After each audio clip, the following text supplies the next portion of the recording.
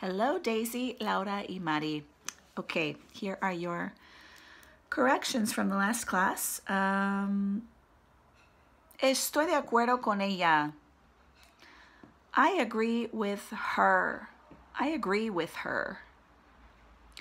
Los costumbres son muy difíciles cambiar, a cambiar. Habits are very hard to change. Habits are very hard to change. So when we speak in general about something, we do not use the article the. We do not say the habits are hard to change. Okay. Uh, hacer una broma. Make a joke. To make a joke. Okay. And um, para expresar demasiado, too much, too much. So we use too much, usually in a negative sense, okay?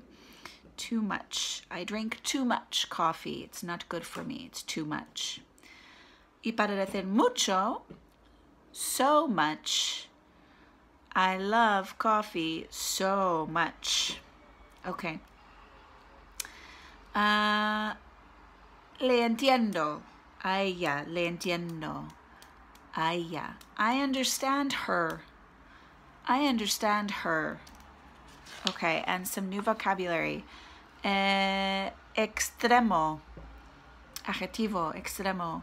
Extreme. Extreme. Extremadamente. Difficult for me to say. Extremadamente. El adverbio. Extremely. Extremely. Okay. Vaca. De animal. Vaca. Cow. Cow. Contaminante.